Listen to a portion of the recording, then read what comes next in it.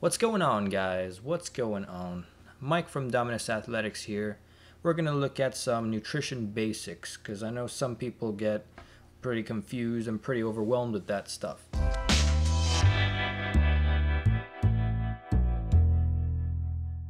Now, look, I, know a lot of you who like fitness and do bodybuilding and all that stuff, who go to the gym. I know a lot of you, uh, nutrition, you know, you think of it, it's kind of confusing it's kind of overwhelming for some of you. So I'm going to try and simplify some of it. I tell you, it's not that complicated. It really isn't. I'm going to give you guys three main tips here that'll create a basis for your understanding of nutrition. All right, so the first thing is calories in versus calories out. So I touched upon this in some videos with Luigi, but we're going to re-explain it here. So first of all, everyone has their maintenance calories in a day. That's the calories you need to function in a day.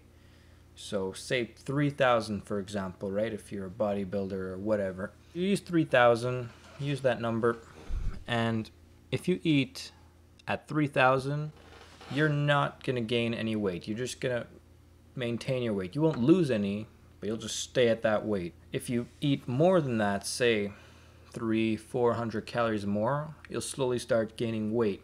Now, if you start eating like a thousand more, you're gonna start gaining a lot of fat, man. You're gonna be a fat guy. So if you want to gain weight, you have to create a caloric surplus. If you want to lose weight, you have to eat under those maintenance calories, right? So again, three, four, five hundred calories below, and you'll see yourself start to lose weight. This is the basis, guys. This always works. If you're eating more than you need in a day, you're going to gain weight, and vice versa. So if you're not getting to the weight you want, you're simply going to have to adjust the calories accordingly. Second thing I want to talk about is protein, okay? What I'd aim for is one gram of protein per pound of body weight. Say you're 170 pounds, you want 170 grams a day. Some high protein foods are things like chicken, beef, fish, eggs, cheese, yogurt, especially Greek yogurt, things like that. There's even lentils and beans that those are good as side dishes or whatever if you want to cook. Tip number three, you want to avoid lots of junk food. This is stuff like fast food, fried food, stuff with a lot of sugar, you know, cakes, all that stuff. All that good stuff. I know it's hard for some people. It's hard for me sometimes. Okay, you get those cravings. You can have once in a while, you know, all, everything in moderation but don't go crazy on it. Instead, you want to get most of your carbs from things like wheat products, like bread and pastas. Whole wheat is preferred, guys, but you do what you got to do.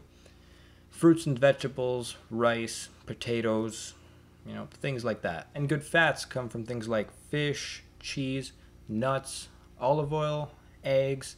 It's even in some of the meat you have and in avocados. Avocados are a really good source of good fats. Alright guys, that is the video. If you learned anything, leave a like down there. Don't forget to subscribe. Also, we're on Instagram, you know, we post some quality stuff, you know, so you definitely want to check that out. Link will be in the description below. I'm Mike from Dominus Athletics. That is the video. We'll see you next time.